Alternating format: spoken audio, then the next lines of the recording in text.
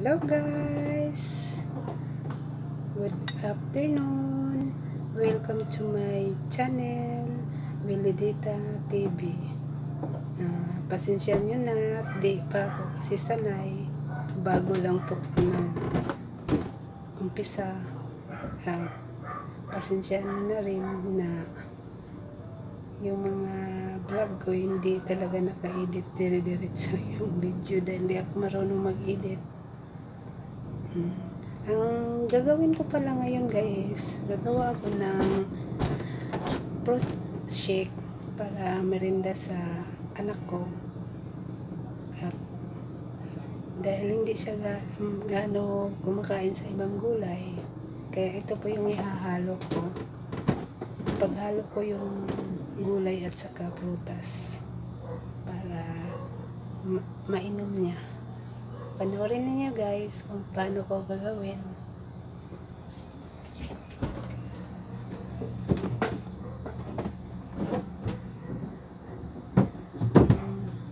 Ito po guys. Ito. Yung arnib, yung asukal to na pinupuluan ko na para para yung kagaya ng ginagawang palamig. Ito na po yun siya. Yun na yung para siya tumamis. Ito po yung ilalagay ko. Grapes. Tapos, yung carrots. Tapos, yung ito po, yung apple. And then, lalagyan ko siya ng malunggay.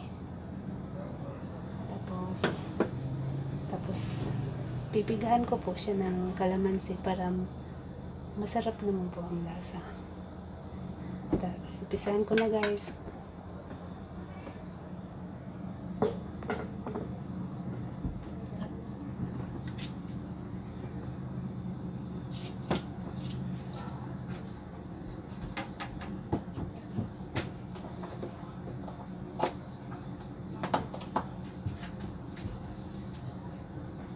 Ito na lang yung ko, yung apple.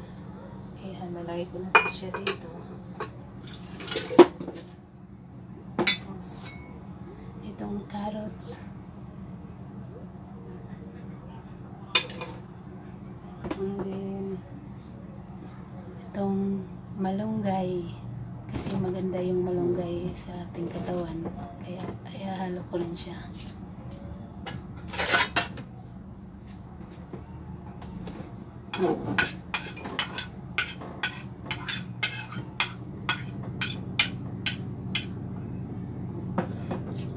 Tapos, itong, itong grapes guys, nahugasan ko na to. Pipiras-parisuhin ko na lang. Ilalagay doon.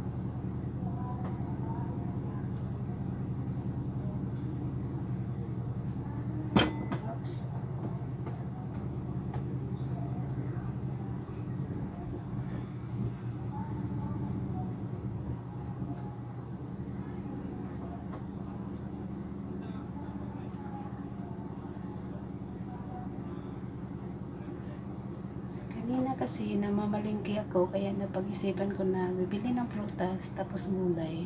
Paghahalo ko siya gawin kong shake para mainom ng anak ko. Kasi sa panahon ngayon kailangan ang in- kinakain ininom natin healthy dahil sa pandemic. Kaya ito, lalagyan ko pa ng kalamansi para vitamin C.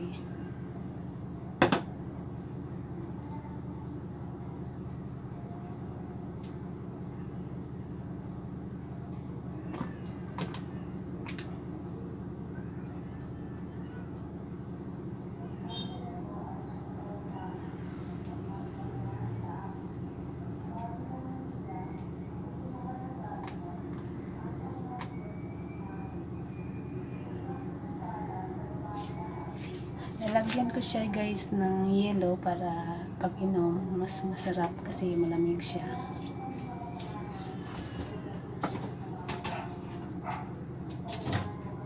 Ano po guys, yung yellow ilalagay ko dito sa bago po umpisahan.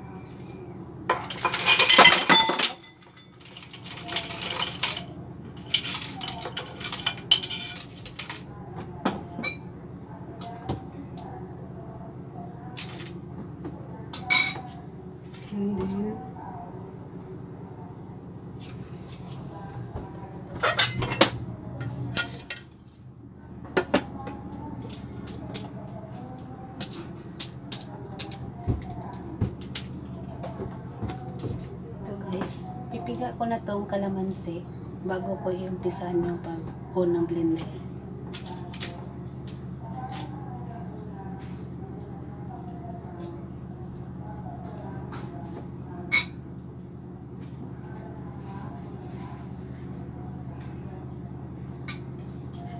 Kalamansi.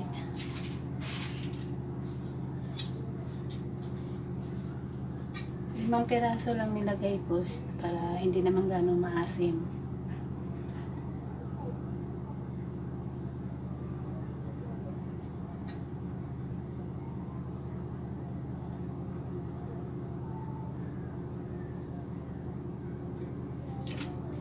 Ano guys.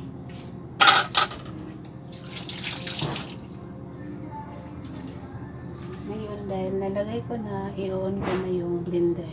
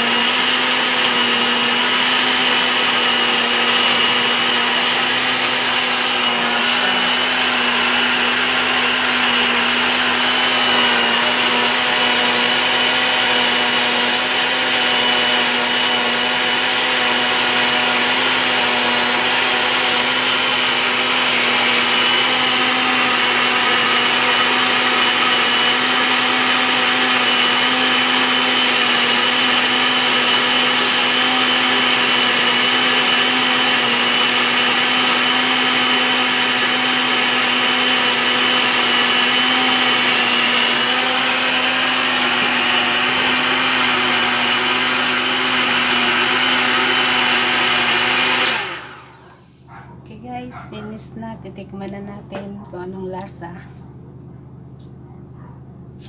Buhat tayo ng baso.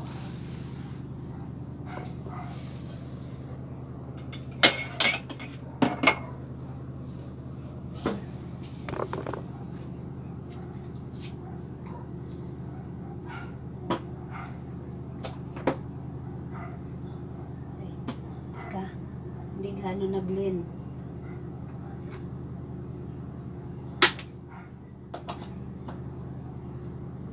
Kulang pa siya. Kaya i-blend ko pa.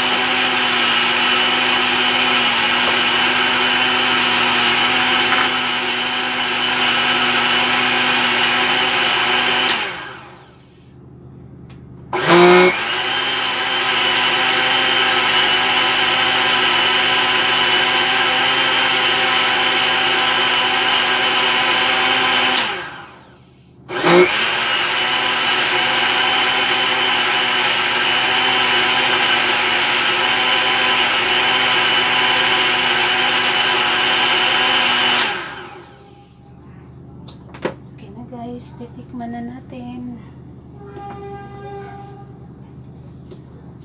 Yan na po siya. Yan na po. Yan.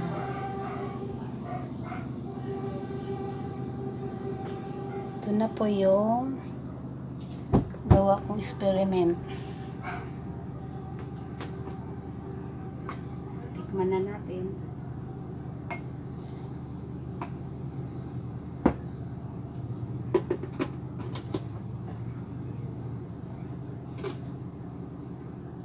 Po siya guys. Ito na yung apple, carrots, ah, grapes, tapos malunggay, tapos may kalamansi, at saka yung arnibal, yung asukal na pinakuluan ko. Yung asukal na pula na pinakuluan ko, tapos yun ang pinagtimpla ko. Yun kasi yung alam kong ginagawa nila sa gumagawa silang palamig. Asukal daw kasi yung pinakuluan sa kagawing lagyan ng yelo para masarap. Ito na po siya guys. Tikman ko na po. Masarap po siya guys. Tama lang yung tamis. Tama lang yung asim. Tsaka ito yung maganda ipapainom sa bata dahil masustansya po siya may, dahil may vitamin C din yung kalamansi. Pwede din ninyo yung gawin sa inyo, lalo na kung may mga bata kayo. Lalo na kadalasan ngayon, hindi yung mga bata ngayon hindi gaano umiinom ng ah, hindi gaano kumakain ng gulay. Gusto lang nila is pritong isda, pritong manok. Kaya gawin nyo to sa bahay nyo para pag nainom ng anak nyo, maging healthy ang anak nyo. Hindi man sila kakain ng gulay. Pero pag inalo mo na dito sa prutas, may inom nila to, hindi naman nila malalaman na may gulay na hinalo. Ito nga oh, hindi na nga alam na may malunggay at saka carrots. Kaya, try nyo rin sa inyo guys. Thank you sa panonood. Bye guys.